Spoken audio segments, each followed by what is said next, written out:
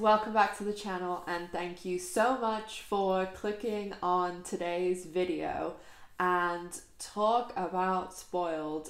Earlier in the week on June 1st we got not one but two teaser trailers for the L Word Generation Q season 2 and yesterday there was the Outfront and it was an interview with four of the main cast members and it was Ari Mandi, Leo Sheng, Jacqueline Toboni, and Rosanny Zayas. So it was really great to see like new content. They're talking about season two. They're talking about the show in general, some of the guest stars, and it's just really nice to start to see some of the press kicking off for season two.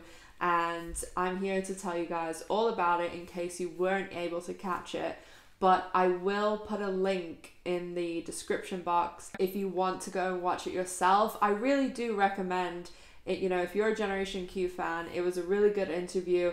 I think the person who did the interview too, her name was Trish, she was really good and she asked, you know, really good questions because they they can't like basically say so tell us what's going to happen in season 2 so i like the way you know she kind of didn't give up and kept asking them about season 2 but also was getting us some little bits of information. So it was really well done and i just really enjoyed seeing the four actors there on screen talking about the l word and yeah let's let's get into talking about what happened and what questions were asked. But if you are new to the channel or you're not yet subscribed make sure to hit that subscribe button and the bell notification so that you're kept up to date with everything that's going on in the L word sphere because all the stuff for season 2 is really kicking off now and if at any point you enjoy the video, make sure to give it a like and let me know your thoughts in the comment section down below as liking, commenting, sharing the video really helps the channel out and engaging in the content just really helps the channel grow because it's difficult whenever you're talking about LGBTQ stuff. So let's get into what went on at the Outfront and start off with the interviewer basically was asking them how it's been being on the show in general and their feelings about it because obviously they've shot the first season they've seen the effects and being able to see people's reaction to it and then they've also gone through what we've all gone through over the last year and then being able to go back to work and film season two albeit in different circumstances and the first thing was they were so, so complimentary of not only the show, the fans, but the atmosphere on set and how the show is ran and it and you know the environment that it creates because people who don't work in like TV and, and films or haven't ever had that sort of on-set experience it's very different than it's portrayed in film and television. And they were talking about how before they really got into season one, how all of them sat down with the writers, and not only were they kind of talking things through and, and hearing about the characters, but they the writers were taking notes and learning more about what type of people they had cast and trying to make things more natural and like taking note of the way they kind of conducted themselves. And paying attention to those little details are really really important to make sure that things are coming across like very naturally on screen. And although we have had season 1 like we only got 8 episodes of season 1 it was a very short season. And when you're also having this very strange phenomenon of having three, four characters in some episodes that have been on people's screens for, you know, a very long time, for six years, but it was such a groundbreaking show that there's still people right now who people that that I talk to a lot who this is the first time season 2 that they're actually going to watch the show live because they've discovered it you know, and a lot of them are younger and they're only discovering it because of Generation Q.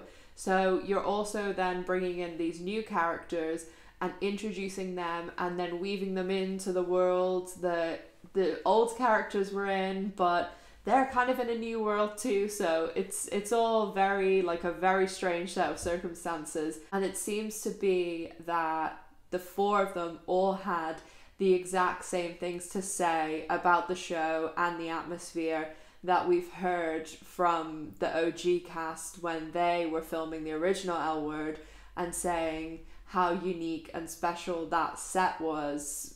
Is it because there's a lot of women on set? Is it because there's a lot of queer people on set? Like, probably a bit of both.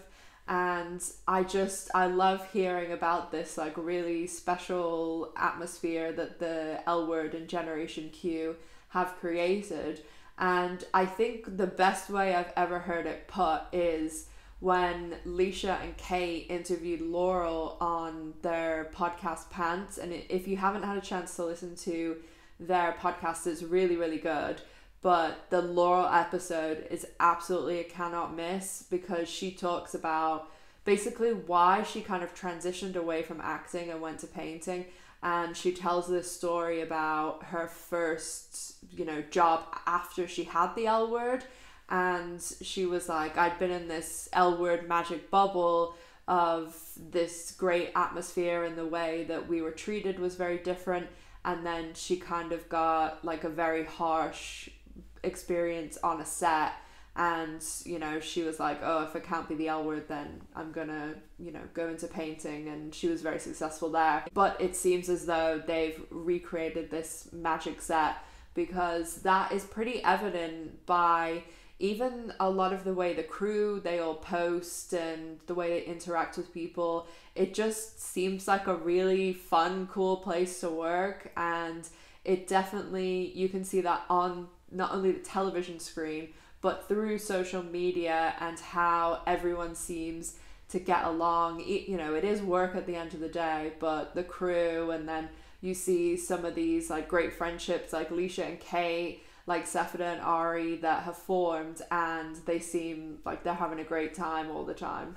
They also talked a bit about some of the differences that are shaped by what the actors have given feedback and things. And again, people who haven't had a lot of experience like working on television and in film, it's very, very rare that they even care what the actors think. Like I I know one of the other shows that was really good about doing this was The Office. And another podcast plug is if you haven't listened to Office Ladies, which is Angela and uh, Pam from The Office. They go over like each of the episodes and then they talk about like what it was like filming each of those episodes and things that we might not know behind the scenes. And their podcast was why, when Kate and Leisha were asking for suggestions, I was like, oh, you should do the L word and watch certain episodes and now that's what they're gonna do. So I think that's really cool. I think it'll be an awesome thing for the summer. But The Office was one of these places where the actors could go to the writers and say hey I think you should do this or this line doesn't feel natural. And they all talked about this a lot during the interview and two of the best examples of it were Jacqueline Toboni was saying, you know, going into the show, like the, in the very beginning, a big part of Finley's character was that she was this Olympic swimmer, and that was why she was a little bit stunted growth wise, and she'd been training for this all her life. And then Jacqueline was like, oh, and then in episode four, when I'm in the pool, you know, the the writers and the showrunner kind of said to her like, "You don't look like an Olympic swimmer that's like treading water in a pool." So then they went back and they took that character part out of the plot in the pilot. So you know that it still says that on on a couple of character bios, but they never actually like canonized that in in the show. It was only from like I think the Showtime website's where I got that from originally. So it looks like that's not, you know, a plot point anymore. And then Leo Sheng was also saying that originally Micah was supposed to be working at JPL and he kind of said, well, Asians like get this very stereotype of always working and in this sort of thing and like although JPL like you know is an amazing amazing job and getting that feedback they then changed Micah to be more of like in the social sciences background. And so it, it really seems as though they're taking on board a lot of what the actors are saying and I I think that's like awesome because in television and film people get like these big egos and stuff like that and it really seems as though there's not a lot of egos on the L word because not only are they taking notes and things from the actors but they're able to say you know oh this you know like in Leo's case like he's moved through the world as a trans man and an Asian man and he can bring something to the storyline that maybe somebody else can and I think that's really awesome and you know major kudos to them for using this to make the show even better.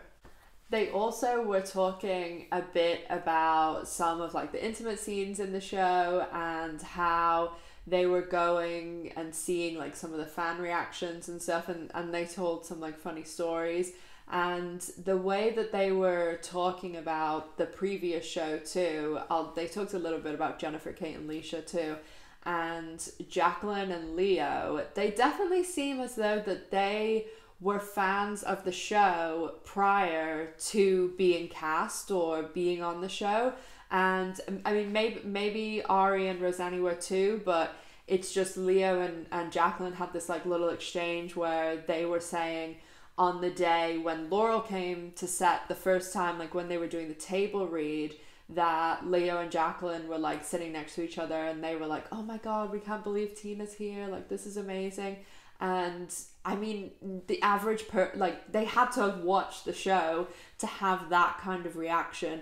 And I don't think that you have that kind of reaction if you've watched the show because you've been cast in it. Like it definitely seems as though they were fans and that they at least you know had had watched the show sometime prior to being cast. So I thought that was pretty cool and I wonder if we'll hear some other stories down the road about other people appearing in season two and, and their reactions to those people coming to the table reads. They also talked a little bit about Jennifer, Kate, and Leisha and basically what they've learned from them and, and how it is working with them. And of course, they were very complimentary of them and they were saying how the advice as a whole from them was to just kind of enjoy the ride and, and have fun with it.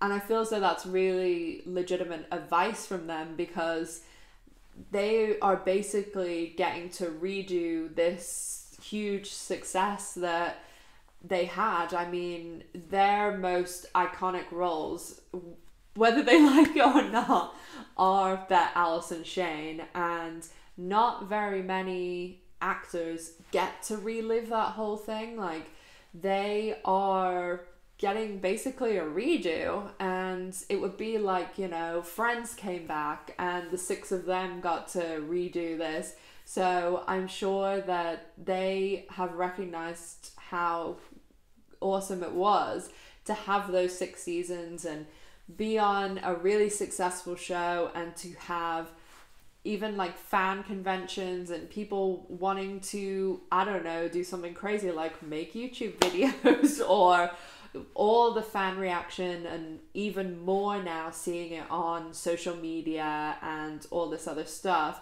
that they have then lived the aftermath of not having the show anymore and having this period, you know, between basically the show ending and then talks for the reboot and getting it done. And they were the real driving force to do that. So, as well as being executive producers, you know, they have a lot more hand in it than they did with the original.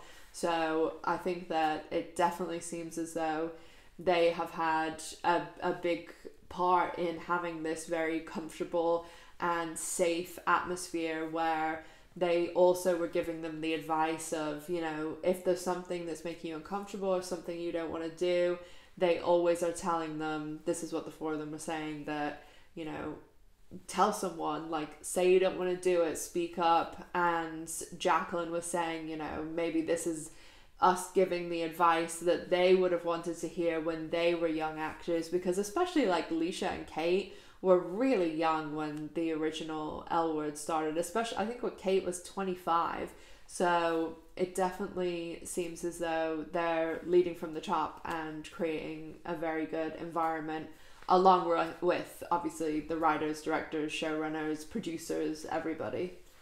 So, on to what everybody probably wants to hear. What did they say about season two? The important thing. And they obviously were not allowed to give too much away. And I did, the interviewer was like, you know, really pressing them, but in like a fun way. She was like, I don't want anyone to get in trouble, but can you say anything? And she kind of gave them this, you know, it was a good question because it's like, we were getting something, but really it didn't tell us anything.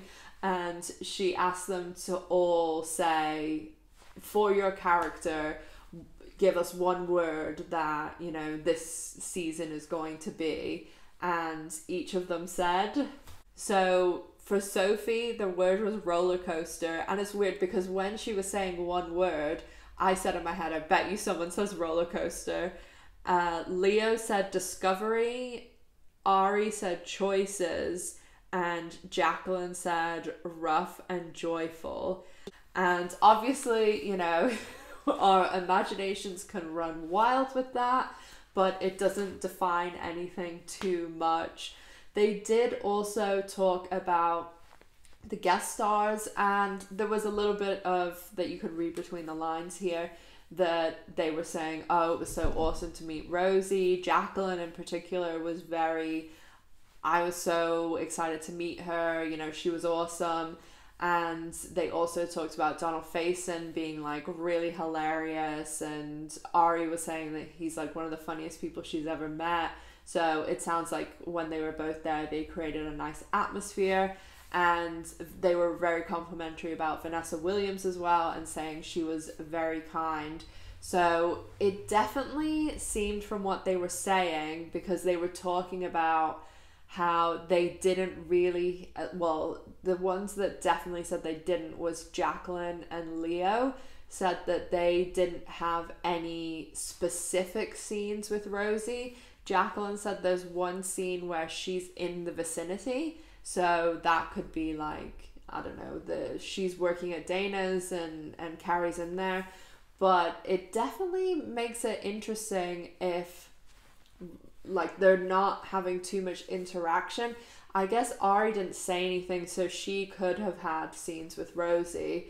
And actually, yesterday there was an interview that went up with Ilene Chaiken, and it was mostly about Law and Order and then the interviewer asked one question about Generation Q season two, and she basically they asked about Bette and Tina, and she basically said that it's going to be like a thrilling ride.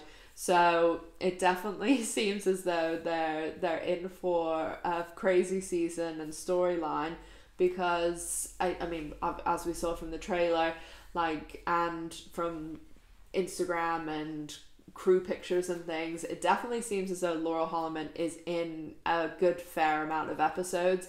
And again, we know that Rosie is in three. So if that is purely, you know, Carrie, Bette, Tina, Angie time, there is probably a lot going down in those three episodes and then whatever else happens in the episodes that Laurel's in without Rosie. And Ari did say that there's going to be a lot more intermingling this season, which I, like I really want to see that because the first season again like they had to establish everyone and they only had eight episodes, so I'm really excited to see a lot more of the OGs and the newbies like all crossing over. And it definitely bodes well intermingling for things like Ben Gigi. Although Jacqueline did also say when they were talking about Leisha, Kate, and Jennifer that not all of them get to work with all of them at the same time. So hopefully we do get to see some scenes with with all of them in it and a bit more than because they were very segregated by like the work environment like Bette and Dani, Sophie Finley and Alice and like that. So it definitely will be interesting to see everybody interacting a little bit more. And that's pretty much it for what they had to say. But I really, really enjoyed this. As I said, I really encourage you guys to go over and watch it on the Outfront. It was a really good interview. They were just, the four of them were really light and like laughing a lot and the interviewer again was very good so i really really suggest that you guys go and check it out it is only like about 40 minutes so the season 2 stuff is towards the end so if you're looking out for for just that specific bit but let me know what you guys think down in the comment section did any of this spark anything in your mind about what we are getting for season 2 and if you enjoyed the video, please give it a big thumbs up as it really, really helps the channel out. And don't be afraid to share the video. And of course, if you're not already, make sure to subscribe to the channel so that you can keep up to date with everything that's going on in the L word sphere. And also, don't forget to follow me over on social media because I post a lot of content over there. And if you want to get your hands on some really cool L Word, Generation Q, and OG merchandise, you can check out my merch store, which is linked in the description box down below. And that is pretty much it for this video. So thank you as always so much for watching. Make sure if you haven't already checked them out, check out my immediate reaction to the trailer and also my deep dive into both of the trailers and slowing them down, showing them on screen, talking a bit more about everything. And keep those eyes peeled for even more L word content coming very soon. So, have a great first weekend to Pride, and next weekend is the big Pride where I live. So, I actually even got a drone, so I'm going to be showing some really cool uh, videos next week, so look out for those as well. So make sure to stay safe, take care of yourselves, and I'll see you in the next one. Bye, guys!